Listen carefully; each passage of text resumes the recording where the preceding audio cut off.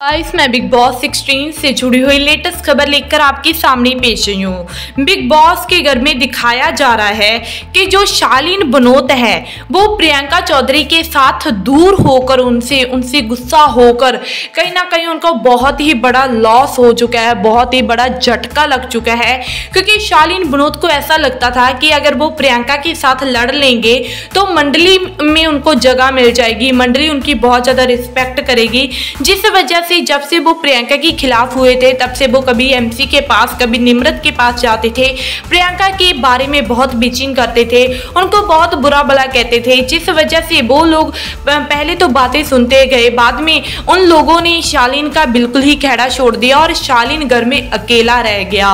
और इस बात से शालीन परेशान होकर बिग बॉस को परेशान करने के लिए कन्वेंस रूम में चला जाता है और वहाँ पर उनको कुछ बातें नहीं आती और वो बिग बॉस के साथ ही कुछ ऐसी लड़ाई झगड़े करने लग जाता है, जिस वजह से बिग बॉस पहले तो उनके साथ वैसे ही पेश आते हैं और उसी के बाद वो काफ़ी उन्हें समझाते हैं, जिसको देखकर शालीन काफ़ी ज़्यादा शांत होता है और शालीन ये बात कहता है कि मेरे साथ कोई दोस्त नहीं है, मेरे साथ कोई बात नहीं कर रहा, मैं घर में अकेला रह गया हूँ। प्रियंका की जो आवाज़ है मुझे काफ़ी ज़्यादा इरिटेट इरिटेट करती है।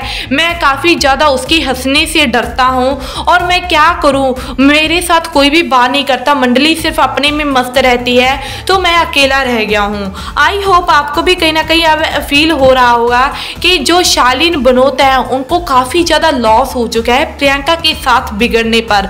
और क्या आप भी चाहते हैं कि शालीन को अपनी गलती का एहसास अब कर लेना चाहिए और प्रियंका के सामने जाकर उन्हें माफ़ी मांग लेनी चाहिए और दबा दोबारा से वही सखी वाला रिश्ता दिखना चाहिए।